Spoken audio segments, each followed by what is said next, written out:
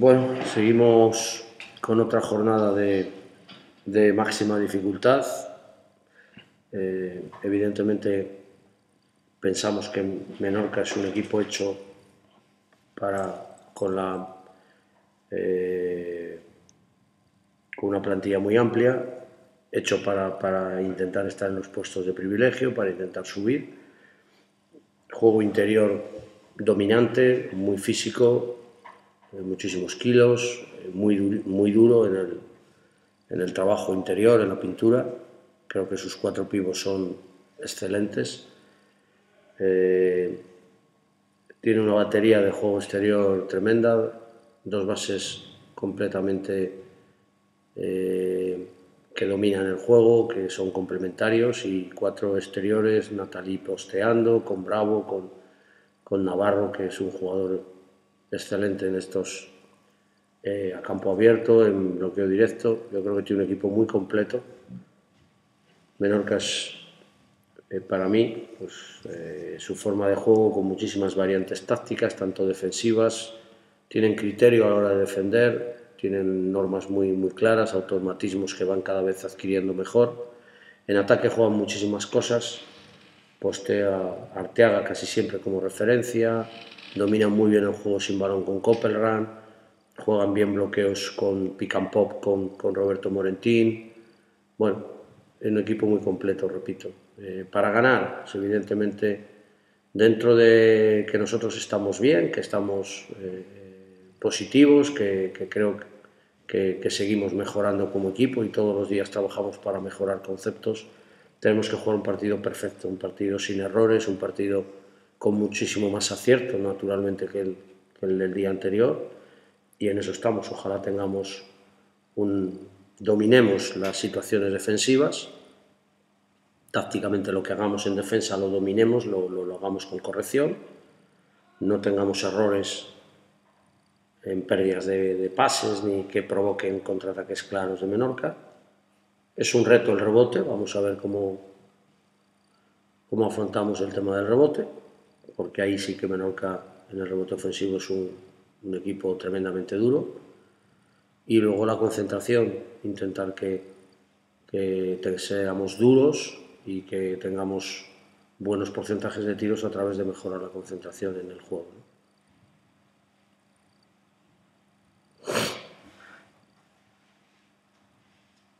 ¿Afecta de alguna manera el resultado del otro día? No, no nos debe de afectar. Hemos hablado, hemos hablado de corregir cosas, pero que, que, bueno, yo creo que todos los días vamos corrigiendo algún detalle y bueno, el equipo es verdad que a veces presenta debilidades en algún concepto y tenemos que trabajar para mejorarlo, pero personalmente creo que el equipo, el resultado de Burgos no, no nos ha afectado porque sabemos que, que bueno, que ha habido cosas importantes. Yo creo que la actitud del equipo ha sido y sigue siendo muy buena les he dicho que ha sido el día contra Burgos que menos pérdidas de balón hicimos. Hemos hecho 10 tiros más, 9 tiros más y un tiro libre más que Burgos. Hemos dominado el rebote. Yo creo que hay muchas cosas. Lo que pasa es que es cierto que no tuvimos buenos porcentajes de tiro porque no, no tuvimos un día fértil en, en, producir, ¿no? A veces también por errores nuestros de, de mala circulación de balón, que tenemos que mejorar y que tenemos que ser más duros, ¿no? Concedemos demasiadas penetraciones, nos hacen muchas situaciones de 2 más 1. Todo esto para ganar en Menorca tenemos que, que, corregirlo, evidentemente. Pero mentalmente el equipo está bien, está bien, está bien. Sabíamos que, que ahora es un, una semana y va a ser un 10 días tremendo, porque fíjate que tres equipitos, todo el mundo da de favorito a, a Burgos, Menorca o Canarias y nosotros les, nos les vamos a, a, a enfrentar en, en 10 días a los tres. Menorca está prácticamente como... Está como nosotros, sí. A priori esto es lo que, lo que dice la tabla, que muchos equipos están ahí en la pelea y estamos todos juntos todavía, ¿no? Quitando Lleida, pero bueno, también los calendarios son diferentes, ¿no? Pero que te quiero decir, tienes razón de que Menorca creo que tiene las tres mejores plantillas, creo que todo el mundo sabemos y decimos las que son, pues pues claro que está hecho para estar arriba, pero vamos a ver si aprovechamos sus dudas, por lo menos, ¿no? si es que las tienen. dos nombres propios. Antelo y... ¿Cómo, Bueno, Antelo necesita coger ritmo otra vez, entrenar y olvidarse ya de la lesión mentalmente, ¿no? Le ha venido otra vez mal. A José las lesiones le vienen, le vienen mal porque tarda en recuperarse mentalmente. Eh, físicamente él creo que de la lesión está bien. Y Scott bien, he hablado con él y, y bueno, ahí tiene que... Ahora ya, como dice el otro, la bola está en su tejado. Ahora ya es él el que tiene que, que ponerse.